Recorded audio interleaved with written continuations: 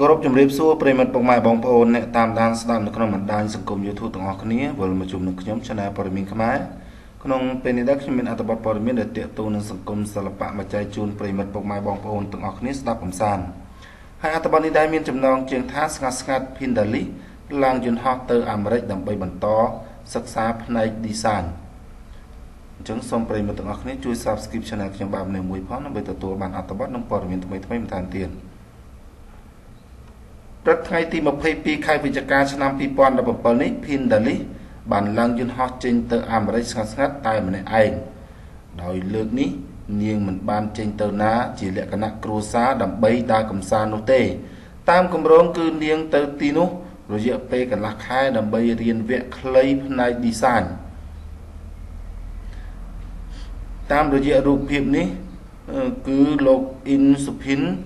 ដែលជាឪពុករបស់ Pindali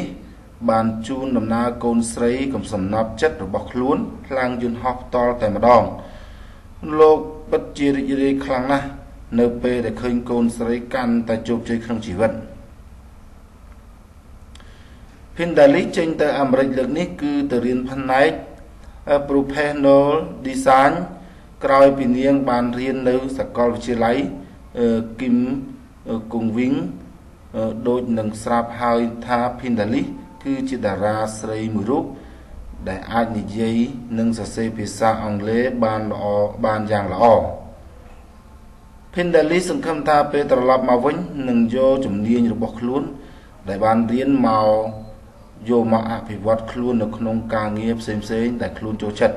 ក្រៅពីអាជីពសម្ដែង Pindali មានការងារជាច្រើនធ្វើទាំងជួយមើលការខុសត្រូវការងាររបស់ផលិតកម្មមហាហង្ស ទាំងការងាររោស៊ីតខ្លួននិងឆ្លៀតពេលថតម៉ូដនិងចូលរួមកម្មវិធីផ្សេងផ្សេងត្បិតធ្វើត្បិតតែរយៈពេល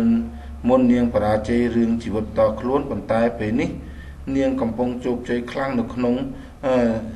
នៅក្នុងការងាររោស៊ីវិញអញ្ចឹងមានន័យថាគាត់ចេញទៅកន្លះខែដើម្បីរៀននៅផ្នែក design ទៅអាមេរិកប្រិមិត្តពេលគាត់ត្រឡប់មកវិញគាត់នឹងយក ចំណេះវិជ្ជារបស់គាត់នឹងយកមកអភិវឌ្ឍខ្លួនគាត់បន្ថែមទៀតចឹងអត្ថបទនេះសូមបញ្ចប់តែប៉ុណ្ណេះប្រិមិត្តសូមប្រិមិត្តទាំងអស់គ្នាជួយ Subscribe Channel ខ្ញុំបាទនេះមួយផងដើម្បីទទួលបានអត្ថបទនិងព័ត៌មានថ្មីៗបន្ថែមទៀតបាទសូមអរគុណ